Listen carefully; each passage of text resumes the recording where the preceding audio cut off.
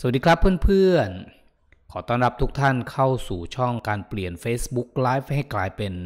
สถานีออนไลน์ง่ายๆ โดยตัวท่านเองนะครับ วันนี้เราสามารถออกมาสร้างตัวตนนะครับ เราสามารถสร้างสถานีออนไลน์ของเราในโลกออนไลน์ได้ โดยใช้ต้นทุนเรื่องของเงินนี่นิดเดียวครับ หรืออาจจะเรียกว่าแทบไม่ต้องใช้เลยนะครับ แต่ต้นทุนหนึ่งที่ เราต้องใช้นะครับ ก็คือต้นทุนของการเรียนรู้แล้วก็ความพยายามประกอบกับการไม่ยอมแพ้นะครับ แค่นี้ท่านก็สามารถเป็นนายสถานีเป็นเจ้าของสถานีที่สวยงามได้แล้วนะครับ และสำหรับใน EP นี้ก็เป็น EP พิเศษครับเพื่อนๆ ที่ผมจะมาเพิ่มเทคนิคให้กับพวกเรานะครับ นั่นก็คือการเพิ่ม เสียงในขณะที่บรรยายเนี่ยเหมือนที่ผมกำลังทำนะครับเห็นไหมเสียงก็จะเพิ่มขึ้นนะครับเสียงก็จะเพิ่มขึ้น การทำแบบนี้ก็จะทำให้การบรรยายของเราเนี่ยมันมีเสน่ห์ขึ้นนะครับ การบรรยายของเราให้มีเสน่ห์ขึ้นนะเอาละเดี๋ยวเราไปเรียนรู้วิธีการนะครับ เรียนรู้วิธีการที่จะเพิ่มเสียงเพลงเลยนะครับอ่าว่าแล้วท่านก็ไปเลยนะครับ ก็เราก็มาที่ หน้าโปรแกรม OBS ของเรานะครับ โปรแกรม OBS ของเรา เนื่องจากว่าโปรแกรม OBS นะครับ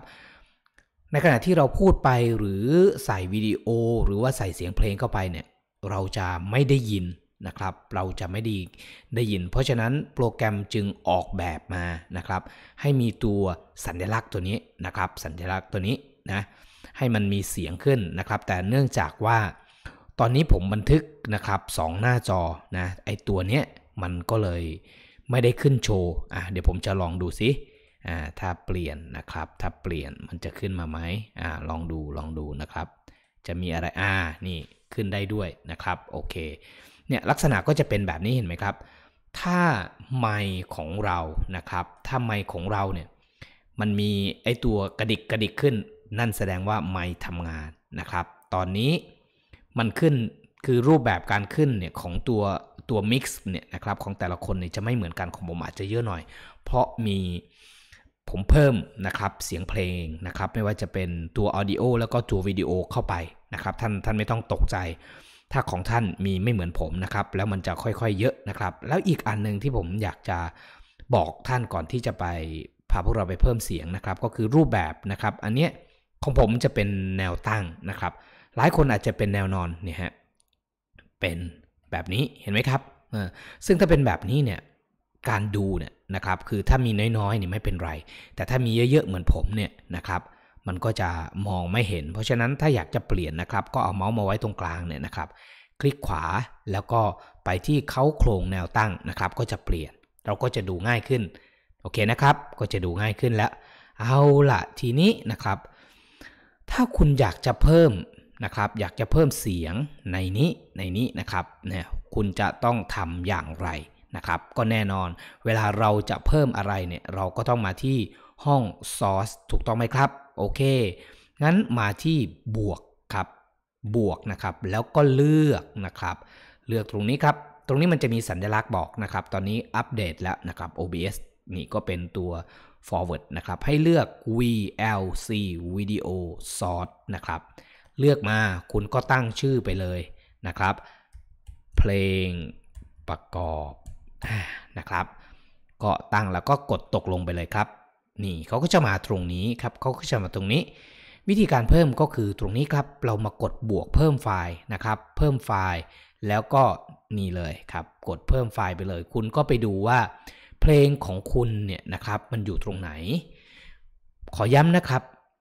เพลงเนี่ย ต้องเป็นเพลง MP3 นะเป็นเพลง MP3 แล้วก็ต้องเป็นเพลงที่ถูกลิขสิทธิ์นะครับ แหล่งโหลดเพลงเนี่ยทั้งใน YouTube แล้วก็ใน Facebook เนี่ยท่านไปหาดูได้ในคลิปเก่าๆของผมนะครับเนี่ยเราก็เลือกมานะก็ดูถ้าถ้าอยากให้การไลฟ์ของเราเนี่ยไม่สะดุดนะครับไม่ผิดกับใครก็ต้องเลือกเพลงที่มันถูกลิขสิทธิ์ แล้วก็เป็นสิ่งที่ควรต้องทำนะครับอะก็เลือกครับ สมมติเพลงนี้ เขาก็จะมานะครับ ถ้าท่านต้องการให้เพลงของท่านเนี่ยเล่นวนซ้ำไปท่านก็ต้องมากดลูปนะครับ ก็ควรต้องเป็นอย่างนั้นนะกดลูปแล้วก็กดตกลงไปเลยเห็นไหมครับเขาก็จะมาแล้วเห็นไหมเนี่ยเสียงเพลงก็จะมาถ้าดังไปนะครับเราก็ผ่อนเห็นไหมครับ ก็จะเงียบไป ถ้าดังไปนะ เราก็เอาพอดีพอดีนะครับ ก็ให้เรียนรู้ประมาณนี้นะครับ ให้ดูสัญลักษณ์เนาะโอเคนะครับ พยายามจะใส่เสียงเพลงดังมาก ๆนะครับ มันจะทำให้วิดีโอของเราวุ่นวายไม่น่าดูนะครับ ก็จะทำให้ไม่มีคนติดตามนะครับ เอาละนะหวังว่าคลิปนี้นะครับ ก็จะทำให้ท่านเข้าใจในการเพิ่มเสียงเพลงเข้าไปในการทำ Facebook Live ของท่านได้ง่ายขึ้นนะครับ ก็ขอให้ทุกท่านมีความสุขนะครับกับการ ปลี่ยน Facebook Live ให้กลายเป็นสถานีออนไลน์ แล้วเจอกันใหม่ใน EP ต่อไป สวัสดีครับ